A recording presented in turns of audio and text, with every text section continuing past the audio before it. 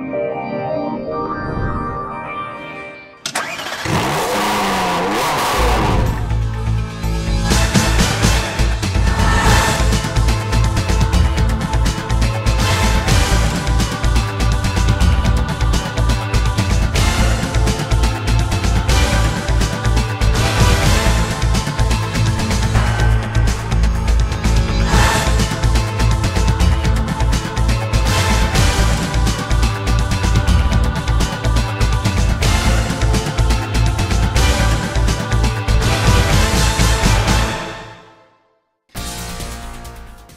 questa puntata, sviluppato dalla divisione sportiva del Jaguaro, F-Pace SVR è il SUV Jaguar più potente mai commercializzato. E che eleganza! Benzina, diesel o elettrica? Citroën C4 ha la risposta giusta. La prima elettrica Porsche si mette le scarpe grosse per affrontare qualsiasi terreno. Ecco a voi la Taycan Cross Turismo. La sfida Verstappen-Hamilton riaccende il mondiale di Formula 1 tutto quello che dovete sapere nella rubrica Top Speed. In chiusura, le pillole di Autolink, con il nuovo record ottenuto dalla Ferrari SF90 a Indianapolis. Lamborghini Countach LPI 804, il nuovo Porsche Experience Center Franciacorta. Ora allacciate le cinture, perché si parte!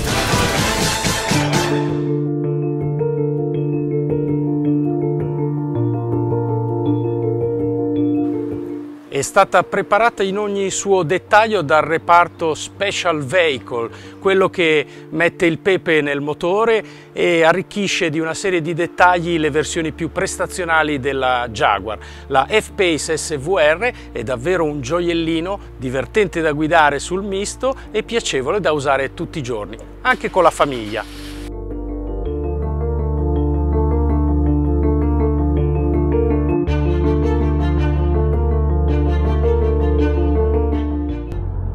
Famiglia preparatevi perché si parte. A razzo.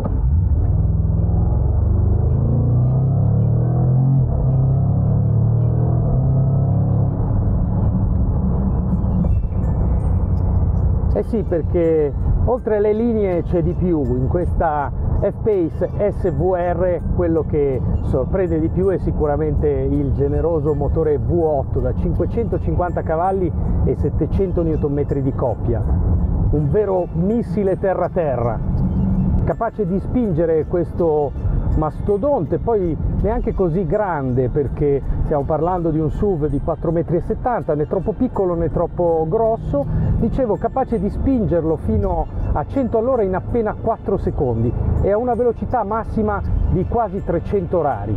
Il tutto con un assetto ben tarato, sospensioni un po' più rigide rispetto agli altri modelli, un telaio rigido e uno sterzo tutto sommato molto diretto eh, che permette di divertirsi anche tra le curve.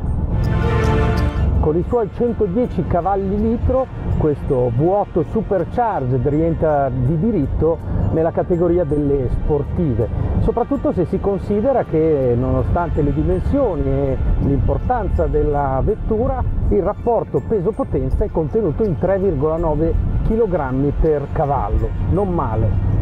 La F-Pace è stata da subito ben accolta dal pubblico perché rappresentava un po' la Jaguar che mancava, il SUV appunto. E in questo caso la SVR si caratterizza per una serie di dettagli estetici, a cominciare dalla mascherina molto curata con ampie prese d'aria e sfoghi anche per alleggerire la pressione eh, sui passaruota che permettono di andare davvero forte sia in autostrada ma anche di divertirsi tra le curve. In dotazione troviamo dei cerchi da 21 pollici che possono diventare addirittura da 22 pollici che però ci sentiamo di sconsigliare per garantire un minimo di comfort e comunque se vi piace guidare sul misto non si sa mai che asfalto si trova quindi una spalla leggermente più alta può far comodo per assorbire meglio le asperità. Gli oltre 21 quintali di peso non si avvertono quasi, in accelerazione di certo non si percepiscono e neanche nei cambi di direzione dove sì c'è naturalmente un trasferimento di carico ma eh, tutto sommato contenuto, anche grazie alla perfetta taratura delle sospensioni che asseconda il guidatore, soprattutto quando si mette la modalità eh, race. Una delle qualità più apprezzabili di questa F-Pace SVR è sicuramente il sound del V8 che viene attivato anche solo attraverso la pressione di un pulsante per regalare quel borbottio tipico degli 8 cilindri a V e che dà grande soddisfazione nella guida. Per il resto questa F-Pace al testosterone è il SUV Jaguar che abbiamo imparato a conoscere, aggiornato nell'ultimo restyling e quindi con un eh, generoso schermo da quasi 14 pollici per il sistema di infotainment Pivo Plus e un cruscotto da 12 pollici e 3 completamente digitale. Anche il volante è nuovo con inserti in alluminio ma soprattutto con comandi touch eh, molto eleganti e funzionali. L'abitacolo è lussuoso come ci si aspetta da una eh, Jaguar, in questo caso eh, con una profusione di pelle, carbonio, eh, con trama a vista, alcantara, insomma non manca davvero nulla per viaggiare confortevoli. Anche i sedili sportivi, apparentemente meno eh, comodi rispetto a quelli imbottiti, in realtà si rivelano perfetti anche nei lunghi viaggi. Hanno regolazioni a 15 vie, sono riscaldabili, raffreddabili, insomma non manca davvero nulla.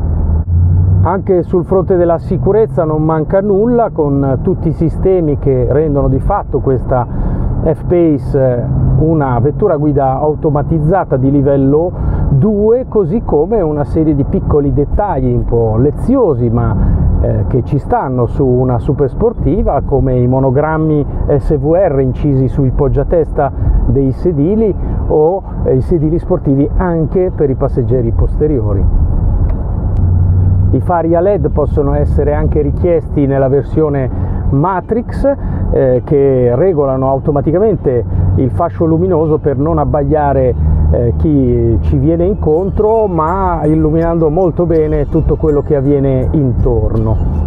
Dulcis in fundo la capienza del bagagliaio che è di oltre 780 litri a sedili in posizione ma che può raggiungere eh, quasi 2 metri cubi, 1780 litri abbattendo i sedili nelle proporzioni 40-20-40. Jaguar F-Pace SVR si rivela l'auto perfetta per i papà un po' sportivi che però devono fare i conti con la famiglia nel weekend magari e quindi ha bisogno di spazio, versatilità e non disdegna le prestazioni. E comunque volendo si può viaggiare con un filo di gas quasi nel silenzio più assoluto nella modalità eco selezionabile attraverso il pomello a scomparsa molto elegante Drive Select e quindi godersi il panorama e magari andare a fare anche un tuffo senza bisogno di portarsi le chiavi perché è possibile indossare eh, una specie di smartwatch che sostituisce la chiave. Seppur il prezzo non sia alla portata di tutti, 108.000 euro di base, 120 in questo caso nella nostra versione allestita anche con head-up display e altri, eh, altre amenità, eh, non vi stupirà sapere che la concorrenza non manca, a cominciare dalle tedesche Mercedes, BMW e Audi, ma anche in casa nostra con la Alfa Romeo Stelvio quadrifoglio verde.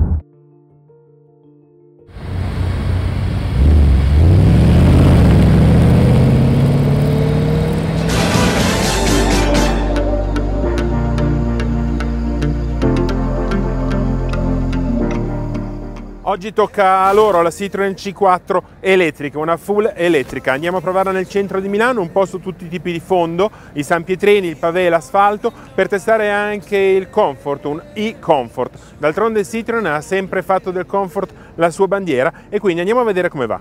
Hey,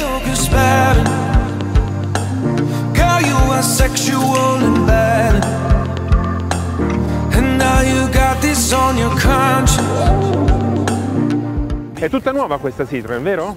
Nuova Citroen E-C4 100% elettrica, effettivamente una novità molto importante nell'offensiva prodotto di Citroën ed è una grande protagonista appunto nel processo di transizione energetica della marca vettura 100% elettrica, eh, lanciata da pochissimo sul mercato italiano, eh, già sta riscontrando un grande successo. Sicuramente si distingue perché è una vettura compatta che appunto si caratterizza per un design unico, originale, lo stile è audace, dall'assetto rialzato per cui anche una posizione di guida che, che consente di dominare la strada, che riesce a coniugare linee eleganti, fluide, con alcuni aspetti invece più da SUV, quindi un carattere più protettivo, robusto, ma soprattutto si distingue per il grande comfort a bordo, un'esperienza noi diciamo di benessere a 360 gradi per tutti i passeggeri che nella versione appunto 100% elettrica viene amplificato da una guida fluida, silenziosa, senza rumore, senza emissioni di CO2 nel pieno rispetto dell'ambiente. Un comfort che passa anche attraverso la luminosità degli interni. Il comfort è parte integrante del DNA della marca, effettivamente nuova Citroen EC4 100% Electric viene progettata con, uh, sulla base del programma Citroen Advanced Comfort che include numerosi elementi, non solo le sospensioni o i sedili ma anche la progettazione dell'abitacolo per dare il massimo senso di volume, di spazio a bordo e soprattutto anche di luce perché la luminosità dell'abitacolo contribuisce ad amplificare la sensazione di spazio e quindi di benessere. Il nuova EC4 offre una grande superficie vetrata a cui si aggiunge il tetto in vetro panoramico apribile in opzione. Un'auto veloce, potente, 100 kW, 136 cavalli, ma va bene anche per neopatentati. È proprio così, nuova Citroën EC4 va bene anche per neopatentati, è omologata anche per i giovani che hanno appena preso la patente con un motore da 100 kW elettrico capace di erogare una potenza fino a 136 cavalli, una velocità fino a 150 km orari e una coppia immediatamente disponibile fino a 260 Nm, un'autonomia fino a 350 km nel ciclo VLTP, ma soprattutto un'autonomia che consente di coprire le distanze medie giornaliere senza rinunciare a prestazioni, a piacere di guida, a potenza e soprattutto a quella fluidità di marcia data dal motore 100% elettrico. Elena, parliamo di prezzi. Quanto costa la EC4? Nuova EC4 100% elettrica a un prezzo di listino che parte da 35.400 euro. Disponibile in tre versioni. Ricordo che comunque beneficia degli incentivi statali e dunque eh, offre anche diverse soluzioni di utilizzo dal finanziamento al noleggio per clienti privati al noleggio anche per clienti aziende estremamente competitive e vantaggiose accessibili alla maggior parte delle persone.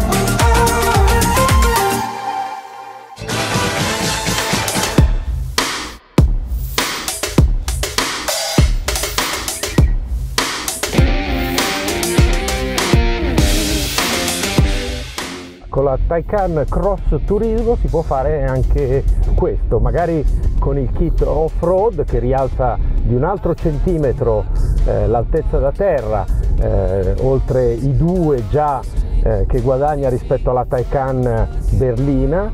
E si può andare off-road, sì, eh, diciamo sullo sterrato, sulla sabbia e divertirsi anche un bel po'. Basta restare sotto i 30 km all'ora per mantenere sollevata la vettura con le sospensioni pneumatiche e inserire la modalità gravel. La variante shooting brake della prima full electric di casa Porsche si comporta veramente bene su strada grazie ha una dinamica assolutamente assimilabile a quella di una 911 come abbiamo già potuto provare sulla Taycan ma aggiunge 80 litri di bagagliaio, un tetto meno spiovente quindi 4 cm e mezzo di spazio per la testa per gli occupanti dei sedili posteriori e soprattutto eh, un look davvero invidiabile da shooting brake vera. La differenza di prezzo rispetto alla Taycan berlina non è trascurabile, si parla di 10.000 euro, però c'è da dire che di base la eh, Cross Turismo ha la trazione integrale e soprattutto monta la batteria da 97 kW, quella più eh, generosa. A questo va aggiunto l'eventuale pacchetto off-road se proprio volete avventurarvi come noi in percorsi un po' fuori dall'ordinario da 3.000 euro che comprende tutta una serie di dettagli estetici dalle minigonne laterali in stile fuoristrada alle protezioni eh, anteriori e posteriori sui passaruota ma permette anche di sollevare di un ulteriore centimetro la macchina da terra. I prezzi per la versione base partono da poco meno di 100.000 euro.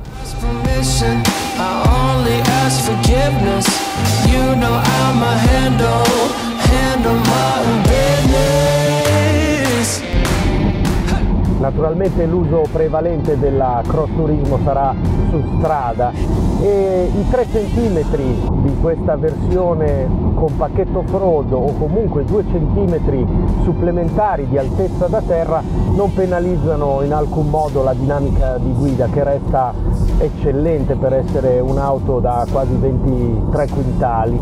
E in effetti sul misto si disimpegna molto bene anche grazie alle quattro ruote sterzanti e sgattaio la via con un baricentro basso che mantiene ben salda sulla strada la vettura.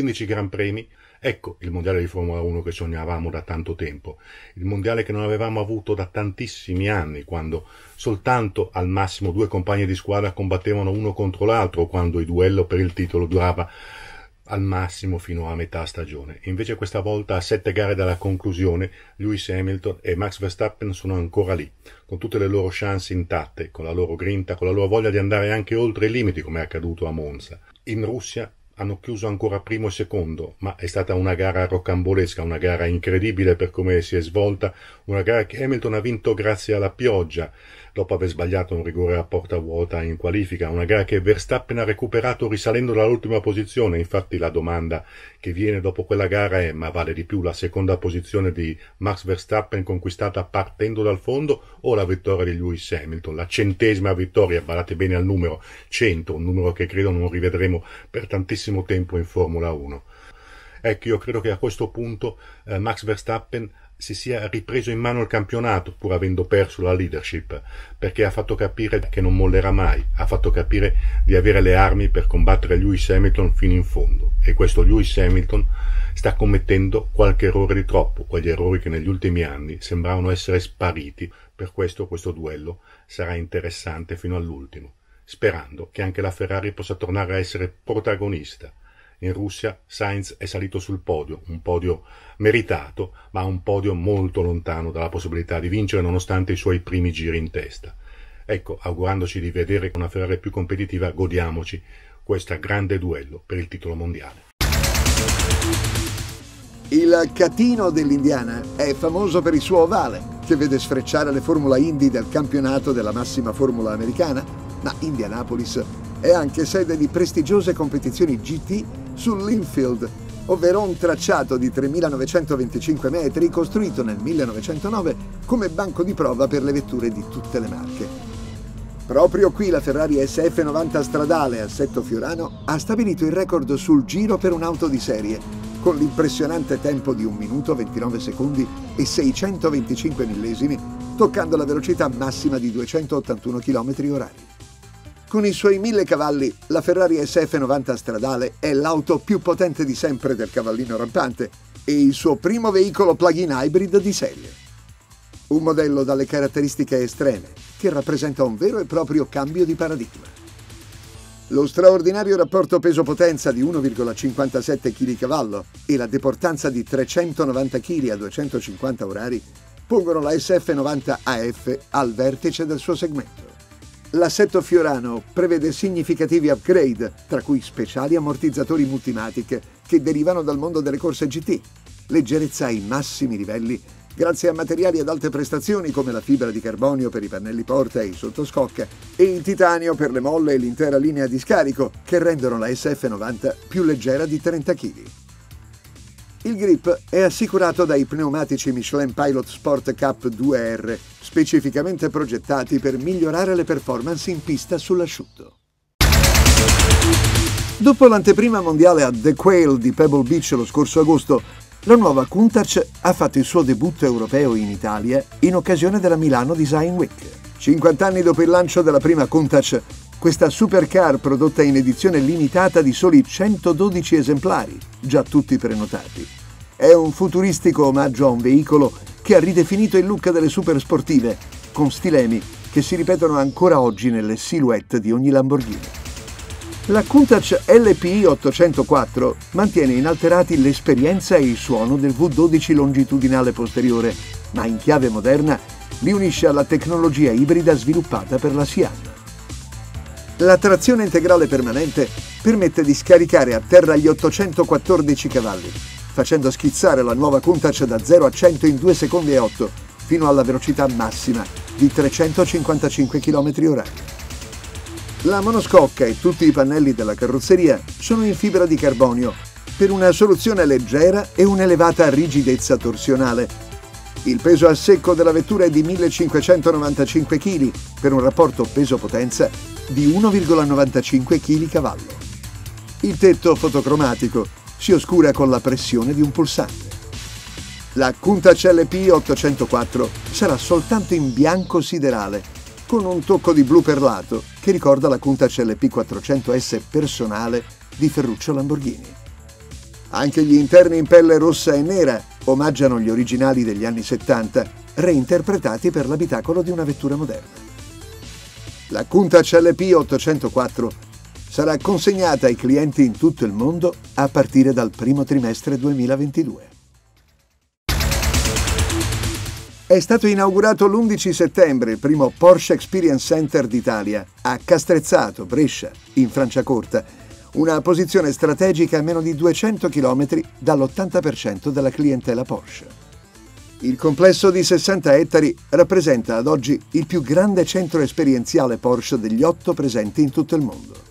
Un investimento di 28 milioni di euro ha permesso di rilevare il circuito già presente e di creare un luogo dove la passione per la casa di Zuffenhausen si traduce in una serie di spazi capaci di coinvolgere ogni tipo di pubblico, dai clienti agli appassionati, dalle aziende alle famiglie, riservando a ognuno il piacere di vivere il mondo Porsche da protagonista. Il PEC italiano è diviso in due aree principali, Customer Center da 5.600 m2 e Paddock quest'ultimo comprensivo di un pit building dotato di 29 box, ovvero un'area dedicata a ospitare i grandi eventi motoristici, a partire dal monomarca Porsche Carrera Cup Italia. Il cuore dell'impianto è naturalmente il circuito di 2,5 km rimasto sostanzialmente invariato, ma completamente riasfaltato. Il circuito omologato FIA di livello 2, quindi ci possono correre quasi tutte le macchine tranne le Formula 1, che è il vero cuore del Porsche Experience Center di Franciacorta. Comprende tre differenti zone di esercizio. La pista a bassa aderenza, dove ci si può esercitare nel controllo del sovrasterzo a velocità relativamente ridotte. Un circuito circolare per fare i tondi, detti anche donuts, 37.000 m2 di area dinamica per esercizi vari, dall'evitamento dell'alce alla frenata di emergenza allo slalom. Più un percorso off-road, con vari fondi e ostacoli, per esaltare le qualità dei SUV di Stoccarda, che rappresentano una fetta sempre più importante delle vendite Porsche ma visto che Porsche non è soltanto sinonimo di sportive e gran turismo, è stato approntato qui a Franciacorta un percorso off-road con tutta una serie di prove eh, con ostacoli artificiali e naturali per mettere alla frusta anche le SUV di Stoccarda. La Full Immersion si completa con altre due proposte pensate per chi vuole sperimentare modalità alternative di guida un Simulation Lab dedicato alla realtà virtuale e agli e-sports con otto simulatori di ultima generazione e una pista di go-kart elettrici con tre mappature di potenza, l'unica degli otto Porsche Experience Center esistenti al mondo. Entro la fine dell'anno sarà inoltre completato il nuovo training center di Porsche Italia dedicato alle attività di formazione della rete di concessionari. I costi per mettersi al volante di una Porsche al nuovo PEC Franciacorta partono da 700 euro per 150 minuti di adrenalina pura, menu tasting. Ma si può anche fare qualche giro di pista da passeggero con il programma Copilot a partire da 175 euro. Le sessioni di simulatore e kart partono da soli 20 euro. Il nuovo PEC italiano farà anche da sfondo a numerose iniziative consociative di possessori Porsche, oltre a rappresentare una location ideale per convention aziendali ed eventi. Benvenuto PEC! Ruota in pista vi dà appuntamento alla prossima settimana. Nel frattempo potete seguirci sui social network e sul nostro canale YouTube. Tutti i link sono sul nostro sito www.ruotainpista.com.